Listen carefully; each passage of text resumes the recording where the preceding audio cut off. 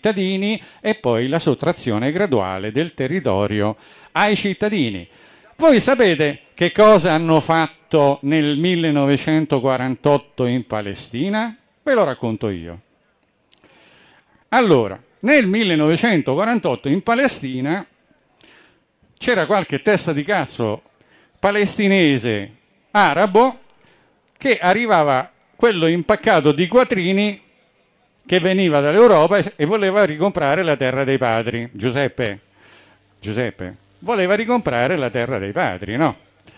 E veniva lì con i, i, i dollari. Veniva con un pacco di dollari e dava questi soldi a questi poveri contadini palestinesi. In questo sistema si sono comprati 8 milioni di ettari di terreno nel giro di 4-5 anni. Dopodiché, siccome tutti i terreni di un determinato territorio erano in mano a questi signori impaccati di quattrini, questi signori impaccati di quattrini a quelli che non volevano vendere gli facevano passare dei guai. In un territorio dove sono tutti, che ne so, tedeschi, c'è un italiano, lo mettono in minoranza. Pure se lui è il proprietario del diritto reale, di cittadinanza, di nascita. E questa storia è andata avanti per anni. E questa storia ha portato alla situazione della Palestina attuale. E questa storia è la stessa storia che sta succedendo qui da noi.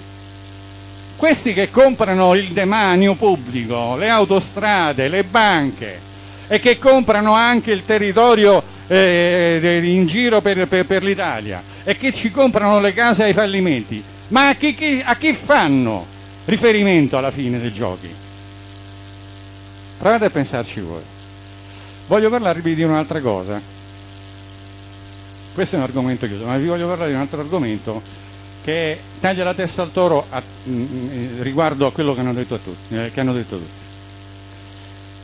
In un sistema monetario che, che, che, che la standard, eh, Gold Sardan, Sardan, eh, addio, Golden Sardan Exchange, che vigeva fino al 15 agosto del 1971, di cui si è parlato, qualcuno ha accennato qui, prevedeva una serie di cose. Allora, tutte le monete, tutte, sulla facciata ci avevano scritto pagabili al portatore, in un modo o nell'altro, ma tutti ce l'avevano scritto. Perché?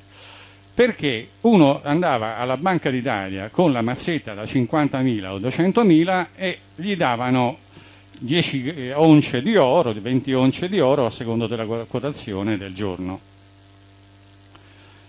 Dal 71 al cioè, quindi il portatore di quella moneta era il reale possessore del diritto di possesso e quindi ne poteva fare quello che voleva e soprattutto era come avere per esempio una casa in proprietà Adesso lasciamo stare che la casa in proprietà della prima casa non paga le tasse ed è più che giusto ed è lecito. Io personalmente non l'ho mai pagata la tassa sulla proprietà della casa perché è la cosa più ingiusta che c'era, tant'è che poi sono stati costretti a toglierla perché è, è, è anche incostituzionale quella tassa. Cosa che io ho, fatto, ho denunciato alle procure della Repubblica più di qualche volta. Ah, a proposito, io ho fatto 1164 denunce contro pubblici ufficiali, eh, ministri, eccetera, eccetera, eccetera. tutti a scendere, da, da, dai presidenti da, da mm, Draghi e compagnia, tutti. Ehm, allora, quindi uno era proprietario del, del, del, del denaro che aveva in tasca, era il valore che effettivamente uno portava in giro con sé ed era il valore che dalla centralità della banca centrale veniva sottratto e portato a lui, perché se io andavo alla Banca d'Italia mi davano l'oro, giusto? Per cui era giusto che i cittadini pagassero e contribuissero alle spese de- de- dello Stato. Ma a partire dal 71 le cose sono cambiate finché poi nel 92, come ha detto Giuseppe, hanno avuto un salto di qualità e poi nel 2002 ah, ci hanno completamente fregato. Che cosa è successo? È successo che è cambiato il sistema di emissione monetaria, che poi vediamo adesso che significa, ma contestualmente non è cambiato il sistema impositivo fiscale. Perché le due cose sono est- eh, proprio bionivoche, intimamente collegate. Quindi A partire quindi da, dal 2002 a, eh, è stata messa in atto la non convertibilità dell'euro con l'oro, tant'è che sull'euro non c'è scritto un cavolo. L'unica cosa che c'è scritto è BCE, però nessuno nota una cosa che è scritta ancora più piccola, perché sul banconota c'è un cerchietto con dentro una C, che, che, che nessuno ha mai notato, pochissimi sanno che cos'è. Quello è il C del copyright. Allora, quello è un pezzo di carta e non un titolo al portatore, perché se fosse un titolo al portatore ci sarebbe scritto, scritto pagabili al portatore a vista, no? E quindi non ha nessun titolo giuridico. Cioè quello è semplicemente è la prima truffa, la prima truffa diciamo applicativa è questa. Cioè quello non ha nessun valore di nessun genere, salvo il fatto quel valore che io accettandolo implicitamente gli concedo. Ecco perché, fra l'altro, nel Trattato di Maastricht c'è l'obbligatorietà del corso forzoso dell'euro.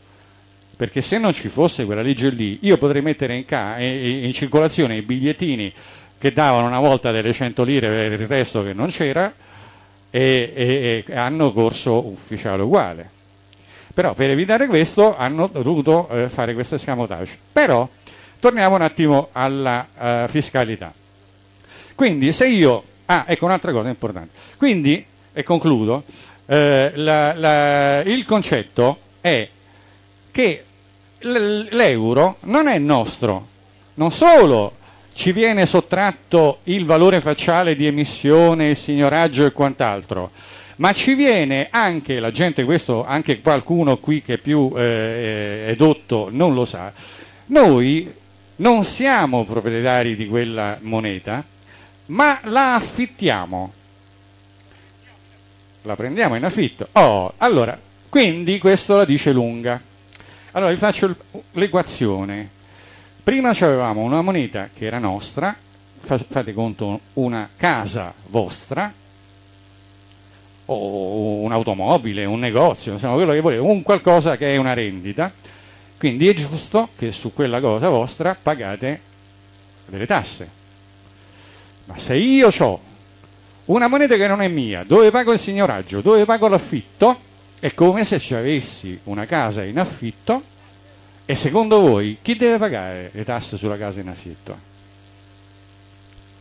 Tutta l'economia, tutta l'economia, tutta, da, dal gelataio alla puttana, alla, al prete che fa il confessore, al ministro, eccetera, tutti vengono pagati in euro e in euro, gli euro vengono emessi dalla Banca Centrale Europea, sia quelli reali, quelli stampati, sia quelli virtuali, elettronici o altro.